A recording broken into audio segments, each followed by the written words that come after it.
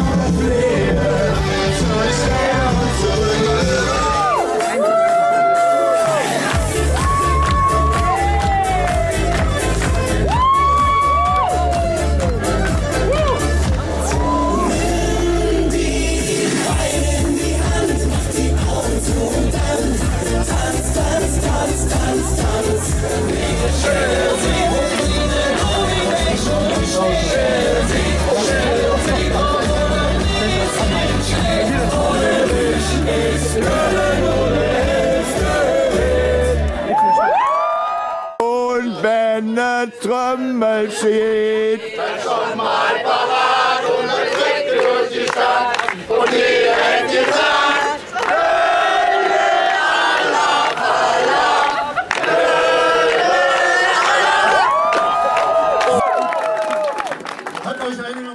diesen Tagen hat sich ein Mitglied des amtierenden Dreigestirns entschlossen, sich politisch zu engagieren. Das ist äh, im Daverkuser Karneval nicht ganz so gut angekommen, weil das auch noch massiv beworben wurde. Und dann haben aber auch die Printkollegen vom RGA darüber berichtet. Eine Stellungnahme dazu wird es nicht geben. Bis Aschermittwoch gibt es für das Dreigestirn in diesem Bereich einen Maulkorb, denn Karneval ist Karneval und Politik ist Politik. So muss äh, Andreas Müßner und Zukunft Wermelskirchen mit seinen neuen Projekten warten, bis Escher Mittwoch ist. Denn in Dabringhausen hat ganz klar der Karneval das Sagen. Es tut sich einiges auch in der Gastronomie in Dabringhausen, was für die Daberkuser natürlich ganz wichtig ist. Das Hotel zur Post war bis dato verwaist, aber nun ist dort wieder ein Grieche eingezogen und wie man von den Dabringhausern hört, auch sehr, sehr gut angenommen worden. Das muss auch so sein. Gerade im Daverkuser Karneval ist man ja so ein bisschen darauf angewiesen, dass man da eine schöne Hofburg möglicherweise errichten kann, die aktuell im Markt ist. Darüber hinaus wird auch im Gasthaus zur Ecke renoviert und was dort entsteht, ist noch nicht ganz klar. Gerüchteweise soll ein Thailänder kommen. Die Telegrafenstraße in Wermelskirchen bleibt im Fokus des Interesse, nichts zuletzt wegen den jüngsten Diskussionen zur Polizeiwache, die es natürlich nicht mehr geben wird, denn es sind ja auch nach wie vor Beamte vor Ort, die allerdings in der zweiten Etage des Rathauses beheimatet sind und mit dieser Position nicht ganz glücklich sind. Insofern begrüßt die äh, Kreispolizeibehörde eine Unterbringung hier hinter uns im ehemaligen Stadtcafé. Dadurch wird die Polizei natürlich für den Bürger etwas präsenter und der Bürger fühlt vielleicht etwas mehr Sicherheit, wenn er hier das Büro direkt vor Augen hat. Nach wie vor gibt es natürlich Ansprechpartner hier in der Stadt was das Thema Polizei angeht. Dorfsheriff Herr Breyer ist natürlich nach wie vor hier erreichbar.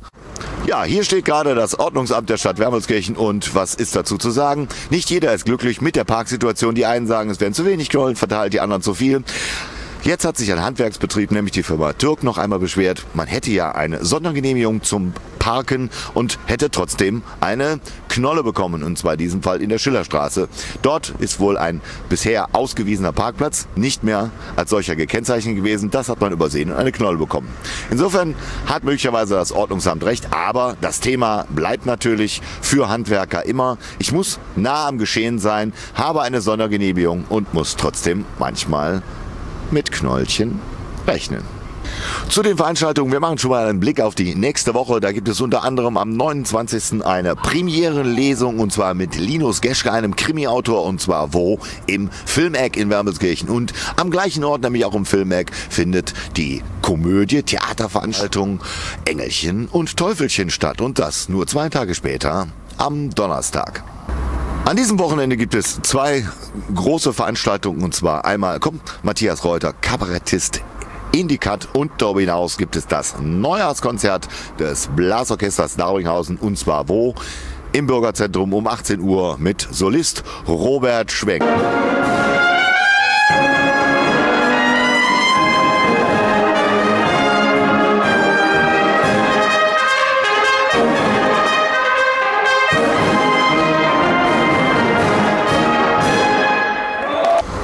Bevor wir diese Magazinsendung schließen, haben wir natürlich wie immer Werbung in eigener Sache. Ihr wisst, Karneval steht vor der Tür und natürlich auch die legendäre Karnevals-Warm-Up Party in der Zentrale am 23.02. Und wir zählen auf euch. Wir hoffen, dass ihr Spaß und Freude habt. Und ihr wisst ja, ihr seid die Party. Und wir zählen auf euch, dass es wieder ein ganz toller Kneipenkarneval wird am Samstag, den 23.02.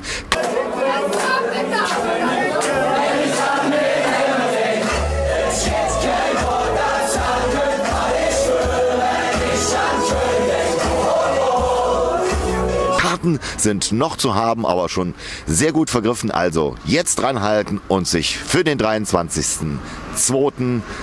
eine Karte sichern. Das war Wermeskirchen TV Magazin, schon ein bisschen aus der Jeckenzeit und wir sagen Alaf bis zum nächsten Mal. Sicherlich hat das Ordnungsamt hier